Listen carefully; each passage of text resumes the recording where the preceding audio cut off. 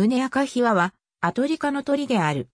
カルデュエリスカナビナという学名は大麻を好むことに由来し、英名はリンネルの原料になるアマの種子を好むことに由来する。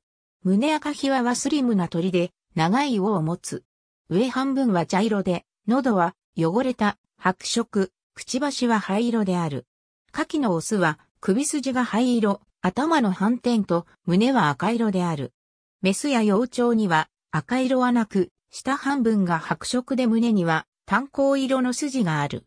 ヒワ族と禁煙のカナリア族の種の系統発生関係は複雑で完全には解明されていない。胸赤ヒワの分布。胸赤ヒワはヨーロッパ、西アジア、北アフリカで繁殖する。定住もするが、東や北に住む者の多くは南方や沿岸に渡る。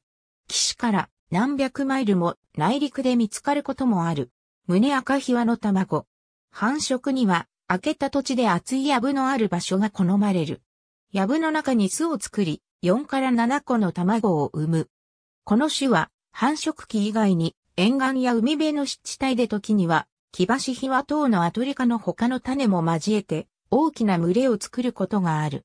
餌としては地面や藪の下の型で主に種子を食べる。幼鳥も同じものを食べる。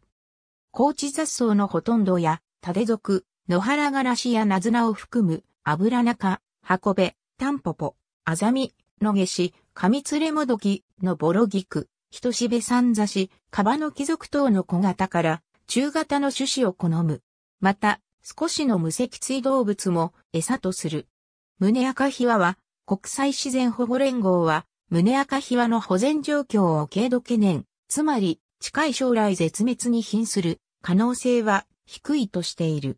しかし、イギリスの生物多様性国家戦略では、優先種として位置づけており、1981年の野生生物及び田園地帯法で保護している。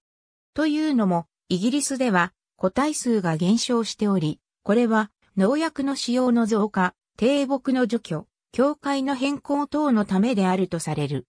個体数は1968年から1991年の間に56%減少した。